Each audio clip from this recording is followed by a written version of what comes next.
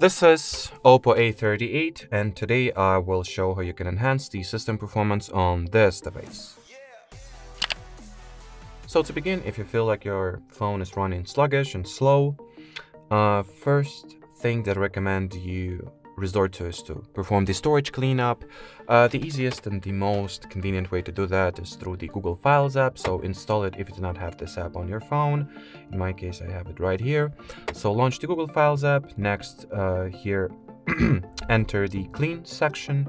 Then it will analyze your storage to see if there are any measures it can take in order to uh, well optimize your storage and remove all trash, junk, and overall unnecessary files. Then tap at the clean button over here, clear the temporary files and junk files. Then on top of that, you can also see if your system is in the power saving mode. So launch settings, enter battery, and make sure to check the power saving mode and switch it off if it is indeed active. Uh, now let's see if we have any high performance modes. Yep, so in here enter the more settings uh, section and switch on the high performance mode toggle.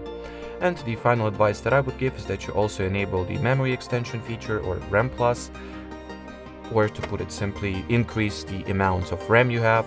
Uh, that you can do by launching settings, entering the about device category in here, open RAM page, switch the RAM expansion toggle on, uh, select the amount of additional gigabytes of RAM you would like to get, and then reboot your system so those changes will be properly applied and well that'll be it. So thanks for watching and bye bye